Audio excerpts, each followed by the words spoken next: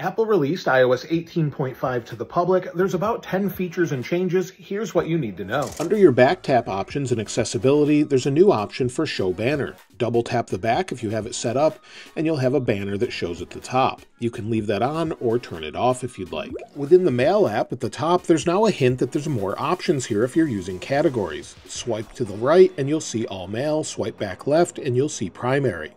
Also, with the three dot menu in the upper right, we now have Show Contact Photos, making it much easier to turn this on or off instead of going into the Settings app. Within your wallpaper, there's a new Pride Harmony wallpaper. If we swipe over and enable it, once we swipe home from the lock screen, it's animated.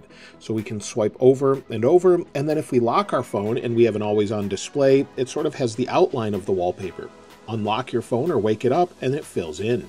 This is to go along with the new Pride watch band that Apple introduced last week, along with a new watch face and wallpaper on your iPhone and iPad. There's now support for carrier-provided satellite features on iPhone 13 models. This is not emergency SOS, but is through your carrier through things such as Starlink. You can actually turn this on and off by going into your settings, and if your carrier supports it, you'll see an option for satellite under cellular data options. Under General, About, and then Apple Care Plus, if you have Apple Care Plus, you can see the status in an all-new design.